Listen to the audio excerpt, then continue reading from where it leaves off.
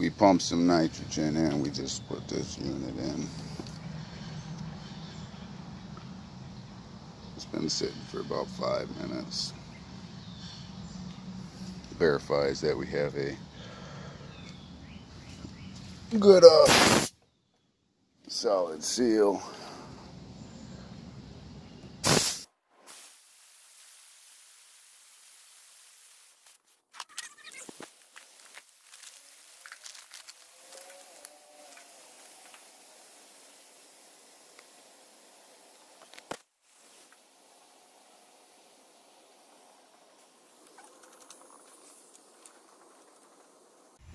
You see the boots are wet. It's been raining.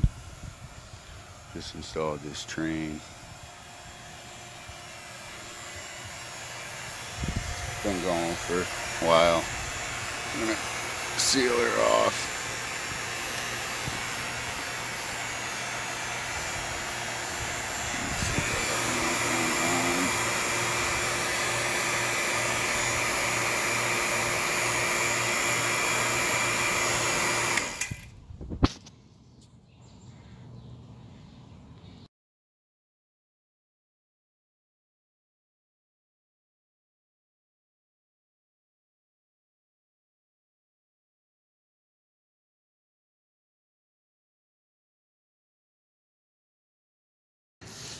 Like to do a 15 minute decay test. We are holding great. Um, I hooked up my temperature probes. I got my core removal tools ready and we are basically going to open up here in a few minutes and let some juice into the system and then that way we can have a positive pressure that will escape out of here and we can let a little bit of air out that's going to be in this core spot because I don't want that in the system. But till then we got five minutes. I'm still working on cleaning up. I got my pump and hoses. I seal them up so they don't get dirty. You see it's dirty. You might get two or three jobs done before you get the chance to clean your tools up and so on and so forth. I got clamps down. I got zip ties. I go crazy with them, I know, but I gotta fill the hole. So I got five minutes of a decay left, so I will be back.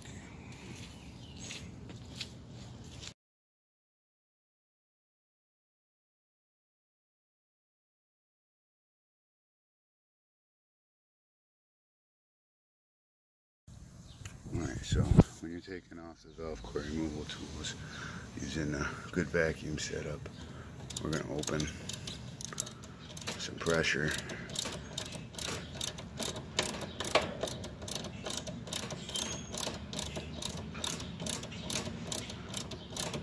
I'm just going to seat this one. Leave my wrench in there for video demonstration purposes. I got my valve cores over here. You can hear she's running, she's set. Got her at 10 sub cool. She looks beautiful.